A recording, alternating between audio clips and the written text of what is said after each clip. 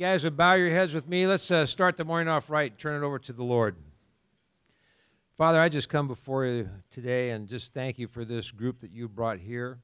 Pray that uh, they would have open hearts and open minds to hear uh, the various ministries, our keynote speaker, and that they would leave here changed, that there would be something different today uh, about them as they leave versus when they came.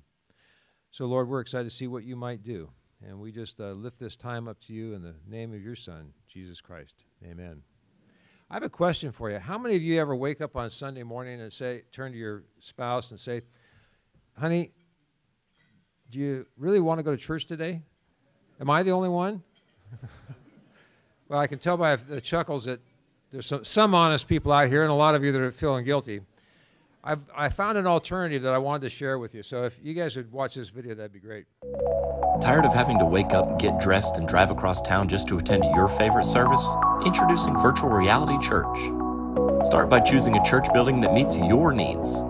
Tired of the stress of having to choose a Sunday morning outfit? Never make a fashion mistake again because Virtual Reality Church will style you based on your denomination. Not a people person? Select the introvert experience to completely eliminate the welcome team, meet and greet time, connect cards, and that awkward hold hands with the person next to you thing we still do. Next, personalize your morning by choosing the worship experience that you want. Feeling a touch of white guilt? Add a minority worship leader. Custom options even let you tailor the skinniness of your worship leader's jeans.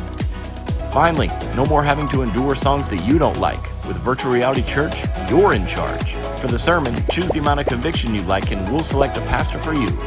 We'll even let you tailor your sermon topics so you'll never have to attend a Vision Sunday or a sermon series on giving. And never worry again about dozing off during the sermon. With Virtual Reality Church, you can sleep as long as you want. Kids being bad in nursery? Who cares? Worried about missing a football game? Enter your favorite team and we'll provide notifications when the game is starting. Never miss a kickoff again. Want to go forward for prayer?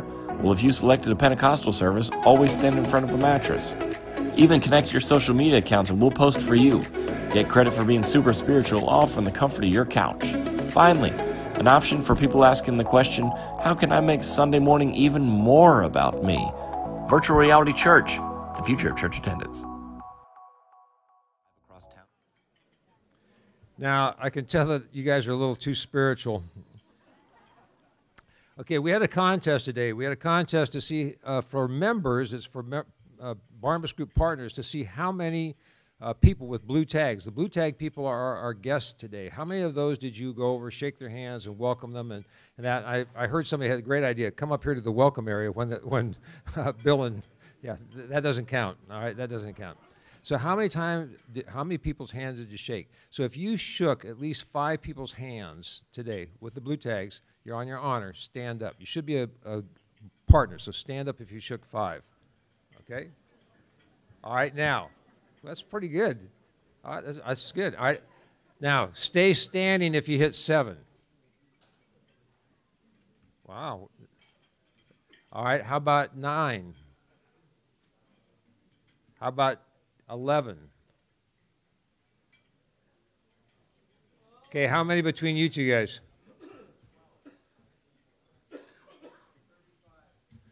Thirty-five. What'd you stand at the entrance, Lindsay? Come on up, Lindsay. Oh, Justin, how many did you get? Okay, 37 gets it. Okay, now, how many people here know Lindsay? How many people believe Lindsay? well, who is the Barnabas Group? If you're a guest here today, you probably wonder, you know, what did I get drug into? Why did I? Why am I here? Let me give you the elevator speech for the Barnabas Group, so you know what it's all about. We hope to provide a platform that allows the Holy Spirit to draw partners and attendees closer to the Lord, so that they are blessed as they bless the kingdom. And we do that through connecting leaders and changing lives. That's connecting business and ministry leaders and changing lives. So if you were invited here today by a Barnabas Group partner, that means that they thought you would make a good partner as well.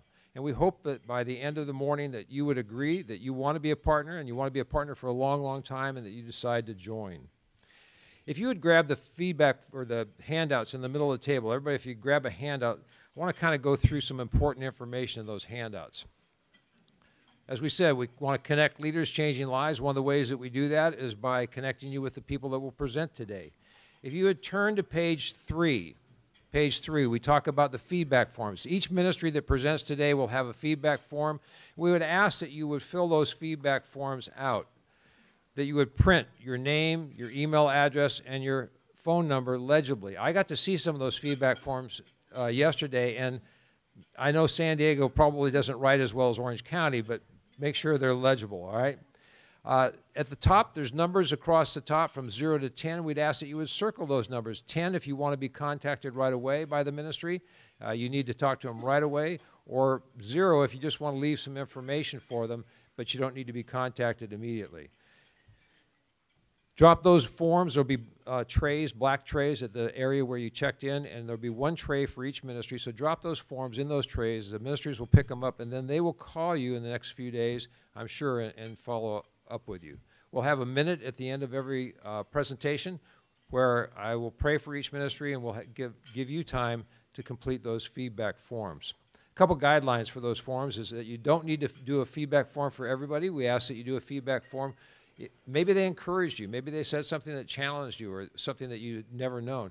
It's a good uh, help to them to let them know that because they use these presentations and they can build off these presentations to do better in the future. So by telling them that, that's a big help to them. Maybe you know someone that they need to talk to who isn't here today, but that would be the ideal person that would help their ministry. Put that person's name down, their uh, email address, phone number, and then let them know why they should contact that person. We get a lot of that, and that's a big, big help to the ministry. The other thing I would uh, ask is call them back when they call you, okay? Call them back when they call you. If you turn the page over to page four, Debbie McMaster, where's Debbie uh, sitting? Debbie, would you stand up? Debbie's in the back here. Debbie is hosting uh, Nancy DeMoss Wolgemuth uh, to help her do a, a, a, meeting, and she needs some help with that. So if you're here and you're a, a lady and you would like to help Debbie with this uh, uh, meeting, you want to host it at your house, please see Debbie at the uh, end of the or the break or the end of the day. She's back there, and that would be a big blessing to her. Lots of information on that page four. On page five, there's some information on the Proclaim conference that's coming up here from March 26th to the 29th. It'll be in Anaheim. The National Religious Broadcasters rarely gets out to the West Coast. They typically do it back east, and uh, you get a lot of people attending. If you look at the, the folks that are, are uh, presenting there, it's a kind of a who's who of, of various Christian speakers. So it's a good opportunity for you to go and, and attend that because it's right here in our backyard. You don't need a plane ticket or a hotel room, but uh, you can get to that March 26th to the 29th. Page seven, if you know someone who would make a great associate partner. Please let John Sissel know. John, where are you at? John, you stand up? John's over here. John's in charge of the, of the associate partner program, and if you would just let him know, that would be great. Okay, that would be a big help to him.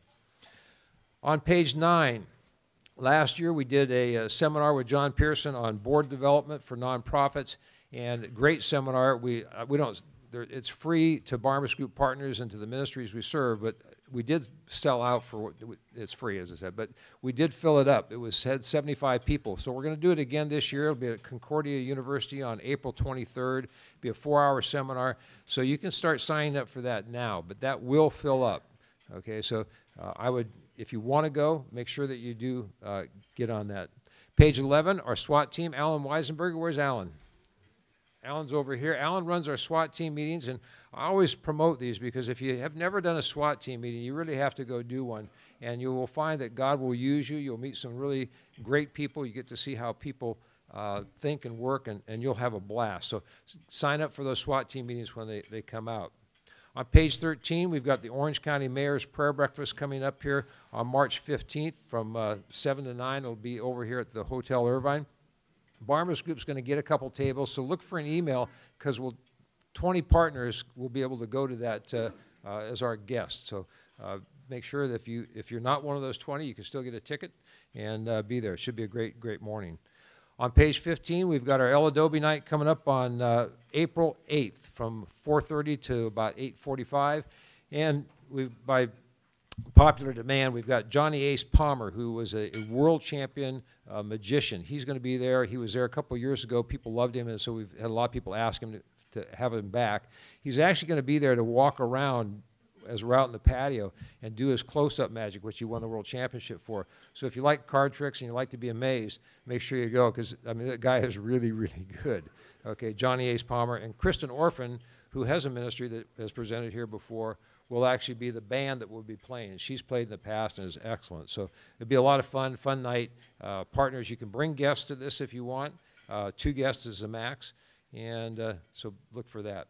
Also, our grandparenting conference. We've got our grandparenting conference, Legacy Coalition presented last year, and uh, uh, we want to make a point. We have a lot of people that were interested in that ministry, but their grandparenting conference is coming up here in Fullerton, February 21st through the 23rd. February 21st through the 23rd. That information is on page 17 between pages 20 and 24, there's three different ministries that are looking for positions. You might check that out because if you know someone that's looking to work for a ministry, there's three different ministries that have some job opportunities in there.